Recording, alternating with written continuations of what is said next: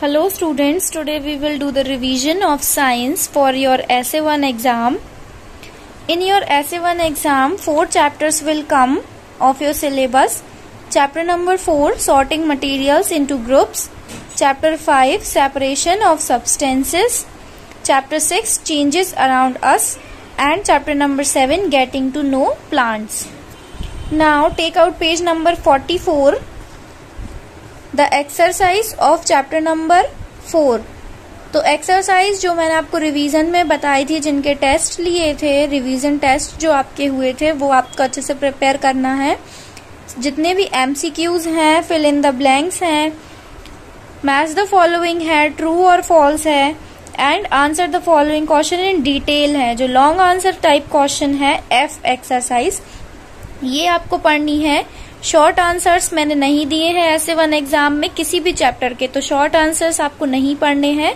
आपको सिर्फ़ long answer question पढ़ने हैं ऑफ़ एवरी चैप्टर इसके बाद चैप्टर नंबर फाइव जो है सेपरेशन ऑफ़ सब्सटेंसेस तो chapter number five separation of substances के जो revision tick the correct option है, जो रिवीजन फिलअप्स है, जो भी एक्सरसाइज है मैच द फॉलोइंग है. That you have to prepare very well and the question answers also सारा कुछ रिवीजन आपको ऑलरेडी हो चुका है। एक बार और मैं आपको रिवाइज करवा रही हूँ। एमसीक्यूज हैं जो फिल इन द ब्लैंक्स हैं ट्रू और फॉल्स सारी एक्सरसाइज आपको अच्छे से पढ़नी है और क्वेश्चन आंसर्स भी अच्छे से प्रिपेयर कर लीजिएगा। जो क्वेश्चन नंबर एट है लॉन्ग आंसर क्वेश्चन का, इसमें फोर दिए हुए हैं आपको ए बी सी डी जिसके आपको ओनली बी एंड डी पढ़ने हैं। ओके okay, मैंने ये पूरा नहीं दिया है बिकॉज़ आपको फिर वो ज़्यादा लेंदी हो जाता है इसलिए मैंने B and D only points दिए हैं। इसके अलावा जो भी रिवीजन के जो क्वेश्चन आंसर्स हैं वो आपको अच्छे से पढ़ने हैं।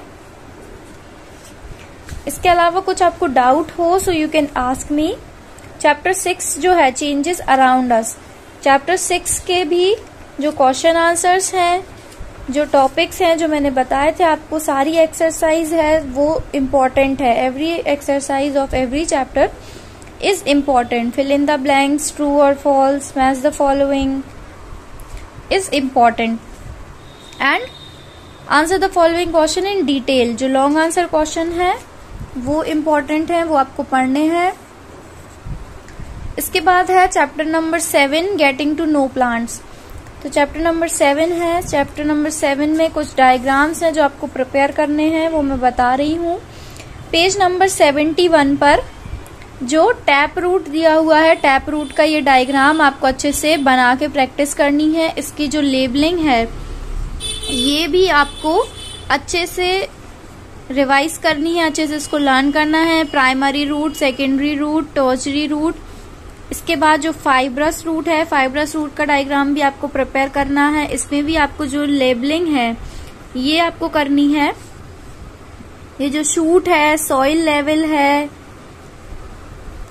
जो एडवेंचरस रूट है, ये सारी चीज़ें आपको ये लेबल भी करना है एंड डायग्राम भी नीट एंड क्लीन तरीके से आपको बनाना है। इसके बाद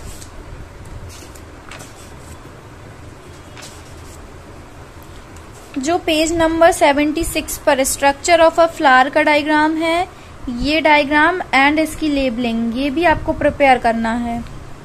स्ट्रक्चर ऑफ़ अ रूट इसमें सारी चीज़ें जो है स्टामिन है anther filament petal thalamus pedicel sepal stigma style ovary ये सारे कारपेल के होते हैं। ये सब कुछ आपको लेबल भी करना है एंड आपको बना के इसकी प्रैक्टिस भी करनी है ओके तो ये डायग्राम्स है।